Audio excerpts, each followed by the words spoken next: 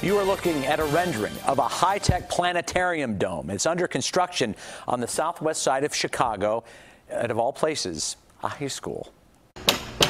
Workers hammer and pound away on what could be considered the ultimate extreme makeover.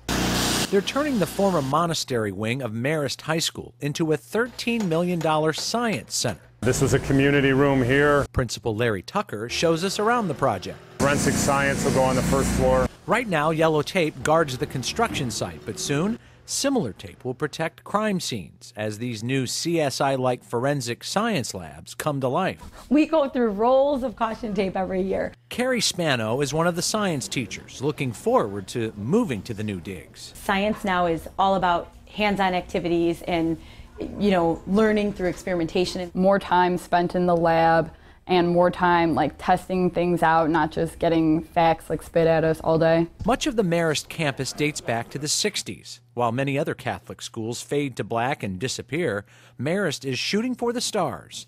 The cornerstone of the campus will be the planetarium set for this spot. Like Adler Planetarium, um, I guess this would be a mini version of that.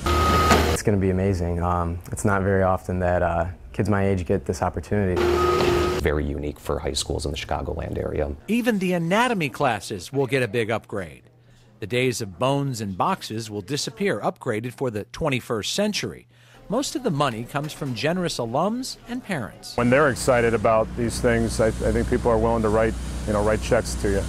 And they're definitely doing that. As we mentioned, the total cost for this palace behind me is 13 million, all coming from donations. More than 10 million has already been raised. The new science center is set to open next fall.